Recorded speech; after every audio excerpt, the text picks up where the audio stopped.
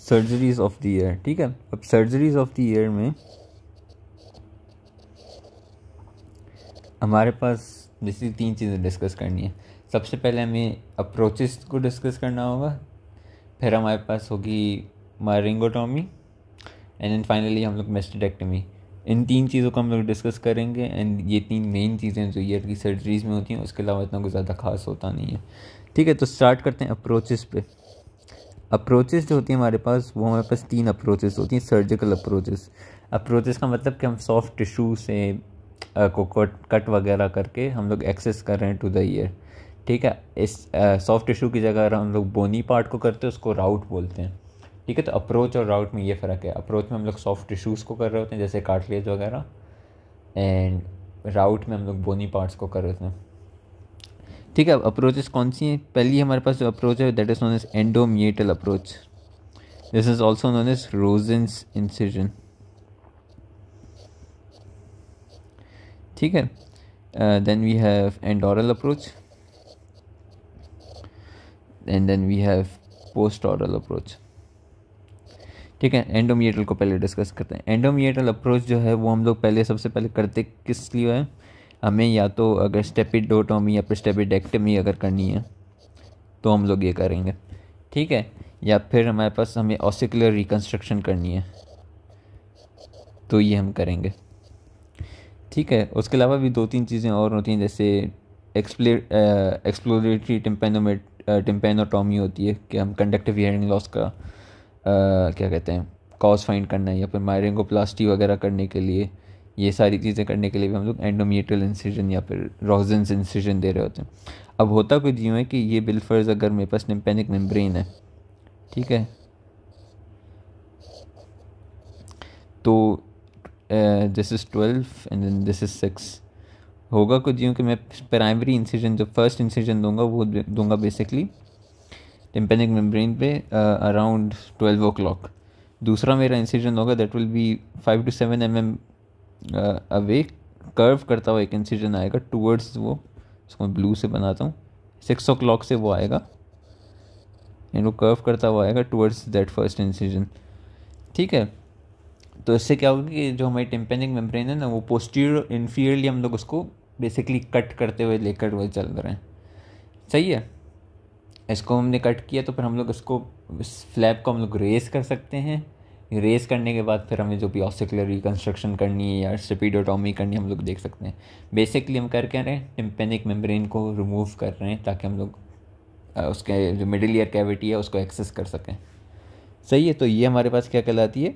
एंडोमिएटल approach या फिर रोजन incision फिर हम डिस्कस करते हैं एंडोरल अप्रोच एंडोरल अप्रोच जो होती है वो हम लोग कब करते हैं? जब कॉलिस्टोमास का हमारे पास हमें करना हो या फिर मॉडिफाइड रेडिकल मेस्टेक्टमी करनी हो या फिर हमें एक्सीजन करनी हो ऑस्टियोमा वगैरह की तो इनको जब हमें सर्जरी करनी होती है तो हम लोग इसकी एंडोरल अप्रोच करते हैं।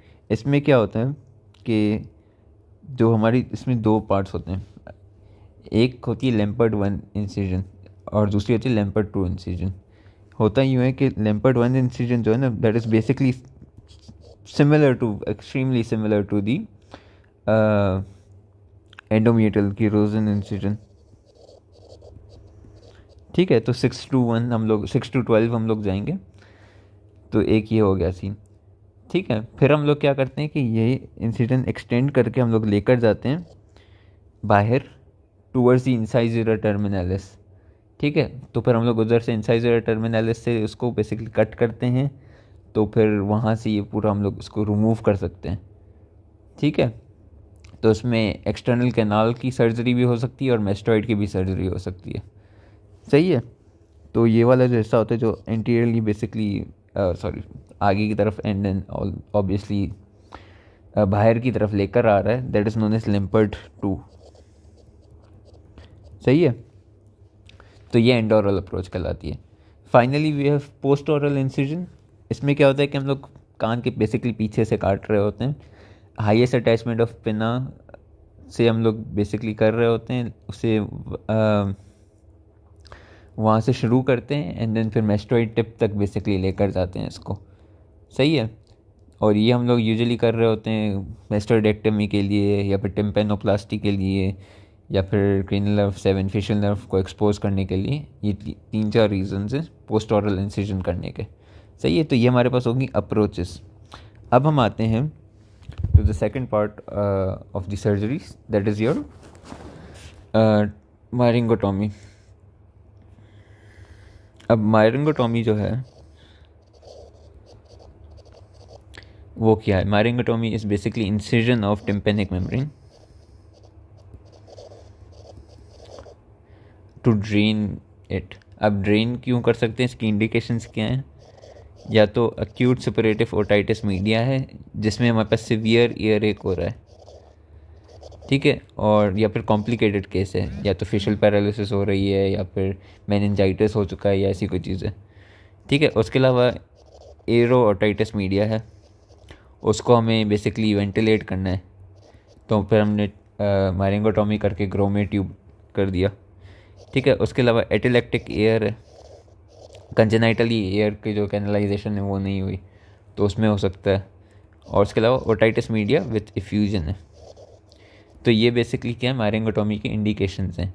स्टेप्स क्या होते हैं? सबसे पहले तो ईयर कैनाल को हमें वॉश वगैरह करना है वैक्स निकालना है उसमें से। ठीक है अब होता यूँ है कि हम क्या करते हैं, इसमें कोई इंसिजन वगैरह नहीं देते हैं राइट लाइक बाहर जो अप्रोचेज हैं, उसमें से कुछ नहीं करेंगे, क्योंकि हम लोग डायरेक्टली जा सकते हैं थ्रू दी ईयर कैनाल और एक्सेस कर सकते हैं हम लोग टिम्पेनिक मेम्ब्रेन को। तो अप्रोचेज हमारे काम की इसमें नहीं होती हैं। और फंडा सिंपल है, ये ईयर है, इसका ईयर कैनाल है, यहाँ पे टिम्पेनिक मेम्ब्रेन है। यहाँ से हम लोग बेसिकली माइक्रोस्कोपी के थ्रू टिम्पेनिक मेम्ब्रेन को विजुलाइज करवाते हैं यूजुअली माइक्रोस्कोपी के थ्रू होता है। ठीक है?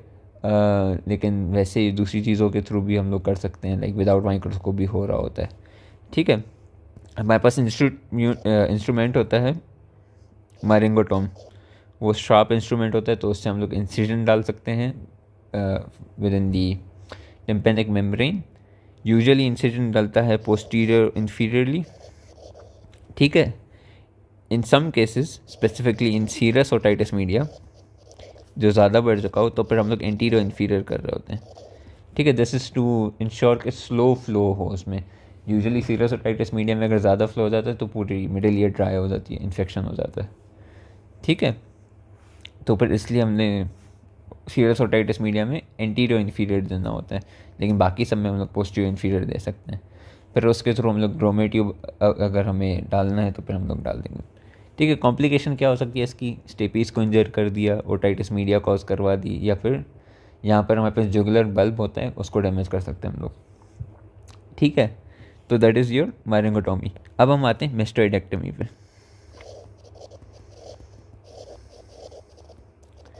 ठीक है मेस्टोइडेक्टमी ऐसे नेम सजेस्ट मेस्ट्रॉइड की सर्जरी को कहते हैं। ठीक है, इसके बेसिकली तीन टाइप्स होते हैं। लेकिन अभी के लिए दो रख दो। एक होता है कॉर्टिकल दूसरा होता है रेडिकल ठीक है कॉर्टिकल मेस्टेक्टमी तब होता है जब सिर्फ़ मेस्टॉइड तक बेसिकली इन्फेक्शन हो और से ज़्यादा एडवांस ना हुआ हो। ठीक है तो मेस्टोइडाइटिस की वजह से। अब वो मेस्टोइडाइटिस एक्यूट मेस्टोइडाइटिस भी हो सकता है और उसके अलावा मास्ट मेस्टोइडाइटिस भी हो सकता है। सही है। उसके अलावा हम लोग कभी कभी एक्यूट ओटाइटिस मीडिया का जो केस होता है जो इनकम्प्लीटली रिजॉल्व होता है कभी कभी वो मेस्ट्रॉइड में चला जाता है। तो फिर तभी भी हम लोग कॉर्टिकल मेस्ट्रोइडेक्टमी कर रहे होते हैं। बेसिकली ये फंडा है कि जब सिर्फ़ मेस्ट्रॉइड इन्वॉल्व हो और इतना ज़्यादा इन्वॉल्वमेंट ना हो तो फिर हम लोग मेस्ट्रोइडेक्टमी की तरफ़ जा रहे होते हैं। ठीक है और, और हमें ऑब्वियसली ड्रेन करने की ज़रूरत पड़े। ठीक है? रेडिकल मेस्टोडेक्टमी क्यों करते हैं? That is basically due to the cholesteatoma अब कॉलेस्ट्रिएटोमा जो है, वो हमारे पास जो होता है that's a very dangerous condition अगर वो सर्जिकली रिमूव कॉर्टिकल से नहीं हो सकती तो फिर हम लोग रेडिकल की तरफ़ जाते हैं। या फिर इतनी सीवियर हो के पता है कि कॉर्टिकल से कोई फ़ायदा नहीं होना तो फिर हम लोग रेडिकल की तरफ़ जा रहे होते हैं। ठीक है? तो कॉलेस्ट्रिएटोमा की वजह से आइदर के वो सेफली रिमूव नहीं हो सकती। ठीक है, या फिर प्रीवियस अटेम्प्ट फेल हो गया रिमूवल का। ठीक है, उसके अलावा सी ए है अगर कोई मिडिल ईयर का तो फिर, या फिर ग्लोमस ट्यूमर है तो फिर भी हम लोग कर रहे होते हैं रेडिकल मेस्टेडेक्टमी ठीक है, अब प्रोसीजर क्या होता है इन दोनों का, उसको देख लेते हैं, दोनों में फ़र्क क्या है, उसको भी देख लेते हैं। तो हमारे पास बेसिक फ़र्क ये होता है कि बिल्फर्स अगर ये मिडिल ईयर है राइट मिडिल ईयर की पोस्टियर वॉल में हमारे पास कनेक्शन होती है with the mastoid antrum this connection is known as aditus उन दोनों को एक चीज़ सेपरेट कर रही होती है, किसको? मेस्ट्रॉइड को और मिडिल ईयर को। वो हमारे पास कहलाती है posterior wall of the middle ear ठीक है? उस पोस्टीरियर वॉल का दूसरा नाम होता है कैनाल वॉल ठीक है? तो अब हम प्रोसीजर पर आते हैं कि प्रोसीजर क्या होता है। हमें बेसिकली क्या करना होता है कि अप्रोच जो होती है हमारी, वो होती है पोस्टीरियर ऑरिकुलर अप्रोच यूजुअली होती है। तो ऑरिकल को हमने लिफ्ट किया, वहाँ से हमने इंसिडेंट डाली तो पोस्टीरियर ऑरिकुलर अप्रोच है। सही है? वहाँ से फिर हम देखेंगे कि मैकेविन ट्राइंगल को लोकेट किया हमने, वहाँ से ड्रिलिंग शुरू कर देंगे मेस्ट्रॉइड में। कॉर्टिकल मेस्टोइडेक्टमी में हम ड्रिलिंग करते हैं तो फिर जो इन्फेक्टेड एरिया है इन्फेक्टेड एयर सेल्स हैं, उनको रिमूव करेंगे। सही है? फिर हम लोग बंद कर देंगे, हम लोग उस इंसिजन वगैरह को बंद करके सही तरीके से रख देंगे। लेकिन अगर रेडिकल मेस्टोइडेक्टमी है तो फिर हमें वो कैनाल वॉल जो है, उसको भी पूरा निकालना होगा मिडिल ईयर को भी पूरा निकालना होगा लाइक ड्रिल करना पड़ेगा ऑसिकल्स भी गए, सब गया। यहाँ तक तो टिम्पेनिक मेम्ब्रेन को भी अक्सर नहीं छोड़ रहे होते। ठीक है? तो फिर ये होता है हमारे पास रेडिकल मेस्टेडेक्टमी जिसमें कैनाल वॉल भी जाती है, फिर मिडिल ईयर के स्ट्रक्चर्स भी जाते हैं। ठीक है? अब रेडिकल वाले में ही हमारे पास एक मॉडिफिकेशन होती है मॉडिफाइड रेडिकल जिसको कहते हैं, जिसमें हम लोग मिडिल ईयर के सारे स्ट्रक्चर्स को नहीं वो करते हैं। हम लोग कोशिश करते हैं कि जितना बचा सके उतना बचाएँ। तो फिर वो मॉडिफाइड रेडिकल कहलाता है। सही है तो ये हमारे पास मेस्टोडेक्टमी हो गया।